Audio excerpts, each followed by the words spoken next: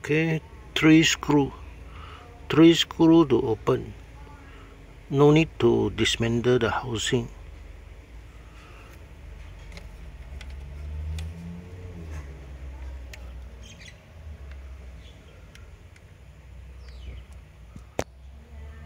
Two wire blue and white.